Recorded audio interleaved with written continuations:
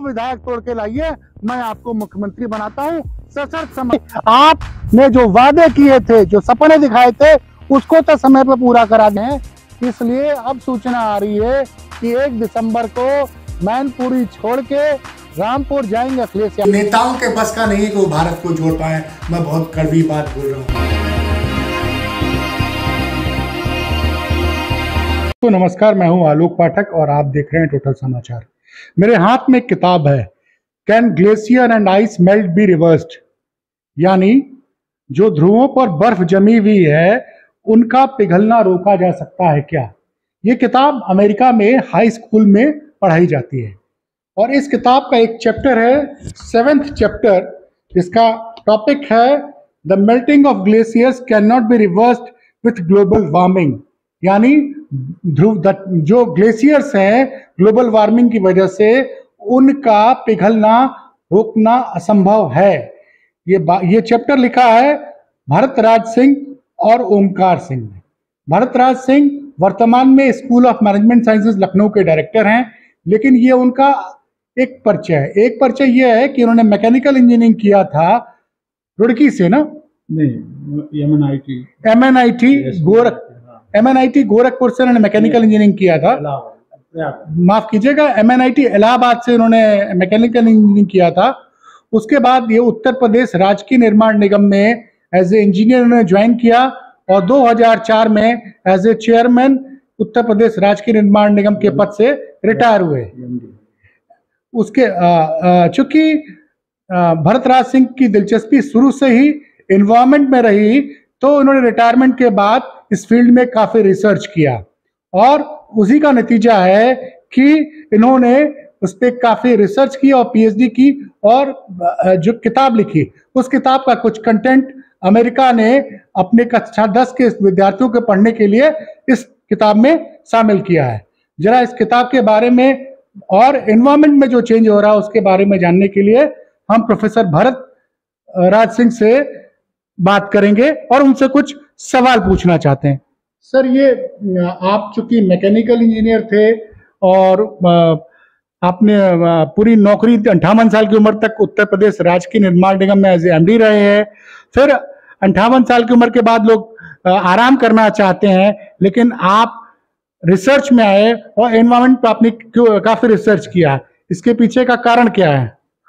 देखिए बहुत बहुत धन्यवाद इस आपको और श्रोतागणों को कि इन्वायरमेंट जो इस समय खराब हुआ, जलवायु परिवर्तन, ये एक दिन में नहीं घटित हुआ। और कहा भी जाता है कि धीरे धीरे परिवर्तन सब चीज़ों में होता है। लेकिन जो जनसंख्या यहाँ बढ़ी पूरे विश्व की, वो उससे आवश्यकताएँ बढ़ गई। आवश्यकताएँ बढ़ने से सारे जगह औद्योगिकरण फैला और उसके साथ साथ ही हमारी मुख्य आवश्यकताएँ जो एक जगह से दूसरी जगह जाने का, जिसे हम ट्रांसपोर्ट कहते हैं। इस पर और ये देखा गया कि ये तापमान धीरे धीरे वैश्विक तापमान बढ़ रहा है।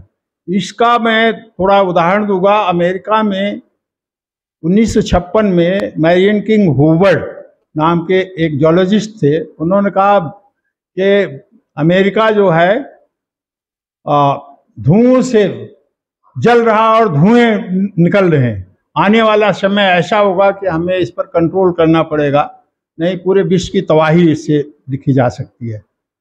लेकिन उनको आ, इनके बात को लोगों ने उनकी एज उम्र को देखते हुए कहा कि इनको शायद मेंटली डिसऑर्डर हो गए। मतलब जो उन्होंने भविष्यवाणी की थी अ, कि जिस तरह से टेम्परेचर बढ़ रहा है हाँ। उस पर उनको समाज ने अमेरिकी समाज ने उनको पागल समझ लिया। हाँ उनको और उन, वो पदच्युत क्योंकि ऑलरेडी उस उम्र में थे और रिटायर भी हो गए उनकी बात उन्होंने ये भी कहा था कि आने वाले समय में आपको वाहनों और इन सब पर जो भी है, कोई न कोई इन्वायरमेंट उसके लिए एक्ट बनाना पड़ेगा और चीज़ों को कंट्रोल करना पड़ेगा।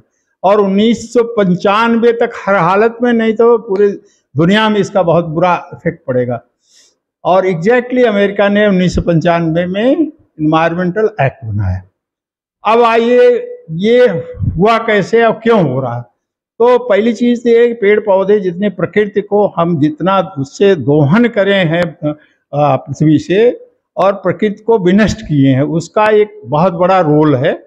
लेकिन वो भी आप क्यों किए? क्योंकि आपकी जनसंख्या बढ़ती रही।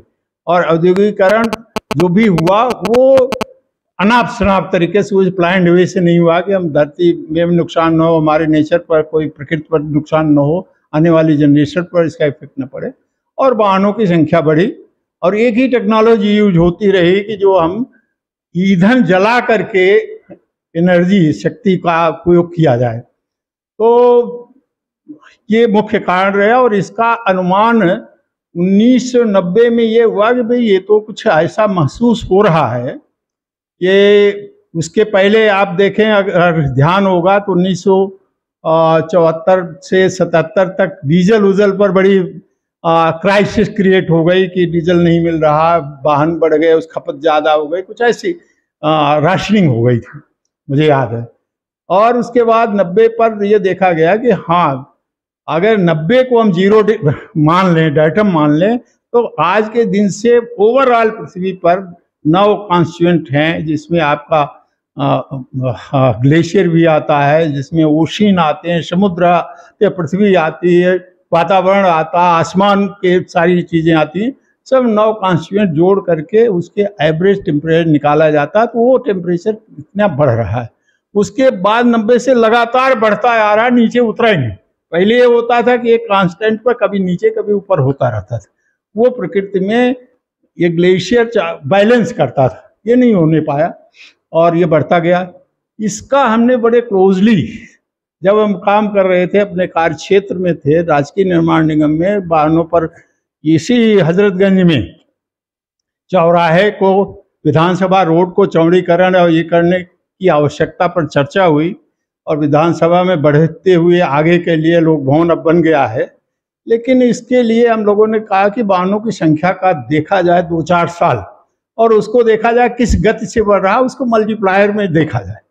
तो एक एक्सपोनेंशियल ग्रोथ की तरीके से बढ़ रहा था और उस एक्सपोनेंशियल ग्रोथ में ऐसी स्थिति पैदा हो गई कि हमें पता लगा कि चार साल में ऑन एन एवरेज चार लाख उनतालीस हज़ार जो रिपोर्ट आई पर ईयर यहाँ से वाहन गुजरती हैं, जिसमें दो लाख छत्तीस सैंतीस हज़ार, दो लाख एट्टी नाइन के करीब आपकी दो दो पहिया वाहन, तीन पहिया वाहन। इससे निकला कि ये छोटी गाड़ियाँ जो है, ज़्यादा प्रदूषण पैदा कर रही हैं। वर्ल्ड वाइड मुझे उत्सुकता हुई कि वर्ल्ड वाइड क्या स्थिति है। तो केवल अमेरिका और कुछ कंट्री छोड़ करके ये हमें अंदाज लगा कि इसमें तो सारी जगह पूरे विश्व में है आ, कुछ कंट्रीज़ यूके की और इनको ले लें बाकी सभी जगह चल रहा है। ये थ्री व्हीलर और टू व्हीलर तो उस पर हमने एक शोध करना शुरू किया। इसी बीच में स्टडी तो इसके स्टडी में आप आए शोध का विषय अलग है उस पर चर्चा करेंगे ज़ीरो पॉल्यूशन ट्रांसपोर्ट में तो कैसी ग्लेशियर पे ग्लेशियर हाँ, पे। अब ग्लेशियर पर आए तो हमने ये सोचा कि इसका क्यों वेस्टर्न हो रहा है? ग्लेशियर पर भी क्या परिस्थितियाँ आई? तो जब हमने 2011 में स्टडी करना शुरू किया तो मुझे लगा कि 79 से लेके 2007 2007 से लेके आगे की परिस्थितियों में बड़ा परिवर्तन। है करीब लगभग लगभग आप 33 परसेंट उन्नीस सौ सेवेंटी नाइन से और बर्फ़ जो आर्कटिक सी जिसे कहते हैं उत्तरी ध्रुव की बर्फ़ वहाँ से गायब है। मतलब 2013 तक 33 परसेंट बर्फ़ उत्तरी ध्रुव की खत्म हो चुकी थी। मैं उसमें सरप्राइज़ हुआ और हमने डाटा कहाँ से नासा के मैप को ऊपर से जो सेटेलाइट मैप है उसको मिलान किया और उनके वेबसाइट से देखा और उस पर हमने फिर और स्टडी शुरू कर दिया। जब स्टडी शुरू किया तो मुझे ये लगा कि ये बर्फ़ गायब हुई, गई कहाँ? तो मुझे लगा कि देखिए, ऐसा बर्फ़ अगर यहाँ से हिल रही तो पानी का स्वरूप तो एकदम माइनस एट्टी डिग्री के बर्फ़ जो है, एकदम से तो नहीं बन जाएगी और अगर ये पृथ्वी ओवरऑल गर्म हो रही तो बर्फ़ के नीचे भी जो ध्रुव है, वहाँ भी गर्मी हो रही होगी। अगर वहाँ गर्म है, ऊपर का टेम्परेचर कम है, नीचे ज़्यादा है तो कहीं ना कहीं उसमें आप वो ग्लेशियर टूटे क्रैक होंगे। और उसका कारण यह हुआ कि वो धीरे धीरे आगे खिसकना शुरू हुआ। मैंने कहा ये कब से खिसकना शुरू हुआ? ये कैलकुलेशन मुझे नहीं मिला। लेकिन मैंने कहा कि एक दशक में हर हालत में मेजर स्टार कुछ summer New York City next decade मिलेगा कहाँ कहाँ से चल रहा कहाँ मिलेगा? तो मुझे ये लगा कि ये अमेरिका का जो छोर जहाँ कनाडा अमेरिका यूके का जहाँ से चाँद महासागर मिल रहा है, वहीं पर ये जा करके बर्फ़ वहाँ गिरेगी। और बर्फ़ का टेम्परेचर भी कम से कम वहाँ से चलते हुए माइनस एट्टी माइनस पट्टी से से सेवेंटी तक तो ज़रूर रहेगा। चट्टाने जो खिसकती हुई जाएँगी और आइसलैंड भी वैसे मेल्ट करेगा। मैक्सिमम वहाँ है और वही नज़दीक से नज़दीक है। तो इसका इफ़ेक्ट हमने उसी समय लिख दिया, ग्यारह की किताब में 2012 में छपी। लिख दिया कि मेजर स्टाम को summer New York City next decade अगले दशक में न्यूयॉर्क शहर तूफानों से डूबेगा। और एक, उसके बाद पता लगा कि वो सितंबर की लिखा और उनतीस से इकतीस अगस्त को वहाँ तूफ़ान, सैंडी तूफ़ान आया, जिसमें पंद्रह दिन वहाँ पर इतना तेज तूफ़ान, बारिश और तूफ़ान का असर ये रहा कि दस दस मीटर ऊँची लहरें जो हैं ये किस साल की बात कर रहे हैं जब आपने? 2012 की अक्टूबर की बात कर रहा हूँ। आपने लिखा और अगले साल अगस्त। उसी दो महीने के अंदर ही आ गया।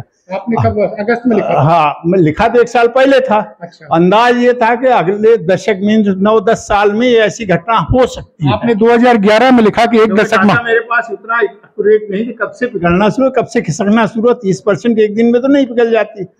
लेकिन अंदाज ये हुआ कि कहीं ना कहीं उधर तो ये घटना वहाँ हो गई।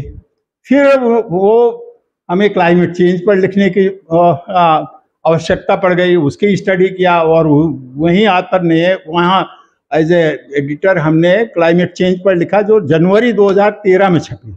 उसमें मैंने ये लिखा कि यहाँ तो बर्फबारी तरीके इतनी ज़्यादा होगी कि दस दस फीट तीन तीन मीटर चार चार मीटर बर्फ़ पड़ेगी यहाँ न्यूयॉर्क या पूरे अमेरिका के हर क्षेत्र में, कैलिफ़ोर्निया साइड में हो सकता है, नहीं हो वहाँ गर्म है, लेकिन ये पड़ेगा। उसका अंदाज ये हुआ कि 2014 के दिसंबर, तेरह के दिसंबर में वहाँ पहली बार बर्फबारी शुरू हो गई। तूफ़ान आने शुरू हो गए। और इसका आज की परिस्थिति में जो हमने लिखा है, आज वो माइनस सिक्सटी डिग्री इस साल आपने रिकॉर्ड किया है, जनवरी में, दिसंबर में 2022 और जनवरी 2023 में। और 10 दिन 15 दिन वहाँ इमरजेंसी घोषित हो गई थी। रेड अलर्ट हो गया क्योंकि सारी गाड़ियों बर्फ़ पड़ी हुई है सारी सड़कें में जहाँ गाड़ियाँ वहीं रह गई। टैंकर जहाँ रहे वहाँ लोग कितने तो लोग ये मतलब टेम्परेचर बर्फ़ का था माइनस एटी से माइनस सिक्सटी पहुँचने के बीच हाँ इतनी कहानी हो गई हाँ, कि अमेरिका में दस दस मीटर बर्फ़ पड़ रही हाँ, है दस फीट मीन्स तीन तीन मीटर चार चार फीट तो अब ये तीन मीटर चार मीटर मतलब दस से बारह फीट। तो अब ये घटनाएँ रेगुलर बढ़ती गई उस दिन से और आज हम 2022 में देख रहे हैं कि ये घटनाएँ आ गई जो हम 10 साल के आंकड़े बता रहे थे। तो 10 साल 2022 हो गया वो चीज़ें अपने आप दिख रही हैं। इसी बीच उसी किताब का एक अंश 2014 में आ, अमेरिका ने हमें अनुमति ले करके आ, ये बुक बच्चों के लिए, क्योंकि इस पर हमारा काफ़ी वर्ल्ड वाइड लोग रीड करते रहे स्कूल ऑफ़ मैनेजमेंट साइंसेज की तरफ़ से हम लोग यहाँ C V Raman centre for research and innovation 2000 में खोला तो उसके माध्यम से इसको हम लोग चला रहे थे। और ये जा करके उसको उन्होंने अपने कोरिकुलम में जोड़ दिया। और उसमें भी लिखा हुआ कि 2030 तक there will be traces of glacier on the earth earth पर शायद गर्मियों में कहीं कहीं बर्फ़ दिखेगी। और आईपीसीसी ने अभी पिछले साल 2011 में, और इक्कीस में ये डिक्लेयर किया कि हो सकता है 2030 से 40 के बीच में ग्लेशियर मिले ही ना, धरती तो ये भी एक प्रमाणिकता इस बुक की हो रही है कि जो लिखा है, वो चल रहा है। तो मेरा इसमें केवल सुझाव है कि अब दक्षिणी ध्रुव पर भी हमने काफ़ी काम किया। पाइन आइसबर्ग वहाँ टूटा, उसके बारे में लिखा, और चीज़ें लिखी हैं तो वो चीज़ें चल रही हैं। और अब आने वाला समय बहुत ही खतरनाक है। आप देखें हिंदुस्तान के बारे में भी लिखा है। तीन साइड से कोस्टल है। चौथी साइड में आपका हिमालय है। हिमालय का हर हालत में ऊपर बर्फबारी तीसरा सबसे बड़ा है। अगर देखा जाए उत्तरी ध्रुव से दक्षिणी ध्रुव बड़ा है। और तीसरा सबसे बड़ा ग्लेशियर जो है हिमालय का। यहाँ भी पिघल चुका है, हमारा करीब करीब तीस चालीस परसेंट। अभी तो उत्तरी ध्रुव में करीब साठ परसेंट बर्फ़ चली गई। तो ये बर्फ़ जाने से आपका हिमालय धीरे धीरे वो नीचे से पहाड़ियाँ उठ रही हैं। उसमें क्रैक हो रहे हैं। बारिश होती है तो उसके थ्रू अंदर चले जा रहे हैं पेंट्रेट कर रहे हैं। केदार नाथ जो घटना हाँ। 2013 में हुई उसी समय हमने ज़िक्र किया था ये केवल इसी वजह से हो रहा। और आज मतलब 2013 में जो केदारनाथ में जो दुर्घटना हुई थी हाँ। वो ग्लेशियर टूटने की वजह से हुई थी। ग्लेशियर टूटने की वजह से कोई वहाँ पर बादल फटना ये सब आ, हमारे काल से भ्रमित करने की वो थी। मैंने आ, उसको आ, कई पत, आ, समाचार पत्रों में लिखा भी था। और ये अभी भी हमने कहा उस समय भी कहे थे कि हमारे आ, पहाड़ों पर रहने वालों को कहीं न कहीं सुरक्षित स्थानों पर विस्थापित किया जाए उनको बनाए उनकी प्रॉपर्टी जो जो बीच बीच में आया करें जब कोई घटना हो अपना चले जाए सुरक्षित स्थान पर वो ज़्यादा बेहतर होगा। बशर्ते हैं कि उनको यहाँ पर इतनी वाइडिंग रोड ये वो क्योंकि वो बहुत ही वनरेबल स्थिति में पैदा हो चुका है हिमालय पूरा। कहीं भी आप हिमालय किसी भी छोर पर जाएँगे वो परमाफ्रास्ट एक एक्शन होता है जब कोई चीज़ ऊपर से वज़न कम होता है तो नीचे के दबाव ऊपर बढ़ने लगते हैं गैसेज बाहर निकलने की कोशिश करती हैं और पहाड़ी वो टूट जाती है। और दूसरा एक है सबसे ज़्यादा टाइट टाइट उसमें प्लेटिस जो अंदर में वो घुसने की कोशिश करती हैं। तो वो भी इफ़ेक्ट है, छह पार्ट में पूरे वर्ल्ड को बांटा गया है, जिसमें इंडियन प्लेट भी है टेक्टोनिक प्लेट। तो वो उसका कारण है अभी आपने ये देखा आ, इसमें टर्की टर्की का जो भूकंप- आया वो भी यही कारण है। ये सब चीज़ें हमने लिख रखी है और कई किताबों का ज़िक्र भी और जगह भी है चाहे नाशा के रेफरेंस में भी है। तो ये काम चल रहा है लेकिन हमें सबको मिलजुल करके इस मानवता की सुरक्षा के लिए कार्य करना है। ये सबसे इम्पोर्टेंट चीज़ है। तो आपने देखा कि बड़ी रोचक जानकारी हम लोग को डॉक्टर भरतराज सिंह ने दी है और जो इन्होंने कहा है कि हिमाचल, हिमालय को लेके भी इन्होंने वॉर्न किया है कि जो तीसरा बड़ा ग्लेशियर है दुनिया में वो हिमालय है और हिमालय में भी जो बर्फ़ की जो चट्टाने उनमें क्रैक्स आना शुरू हो गया है। ग्लेशियर फटा है, इसी वजह से टूटा है, इसी वजह से केदारनाथ की दुर्घटना हुई थी। भविष्य में भी और दुर्घटना हो सकती है। जैसा उन्होंने बोला, डॉक्टर भद्राज सिंह ने, उस, उन सुझावों को सरकार माने तो न सिर्फ़ हिमालय बल्कि पूरा भारत सुरक्षित रहेगा। वैसे चलते चलते उन्होंने ये भी बता दिया कि टर्की में जो भूकंप आया है, उसका कारण भी ग्लेशियरों की, के बर्फ़ का गलना है, क्योंकि बर्फ़ गलने की वजह से धरती पे वज़न कम हो रहा है और धरती का जो लेयर है वो ऊपर आ रहा है। कई जगह पे धरती ऊपर उठ रही है, जिसकी वजह से फ्रिक्शन हो रहा है, भूकंप आ रहा है। राहुल तिवारी के साथ मैं आलोक पाठक टोटल समाचार के लिए।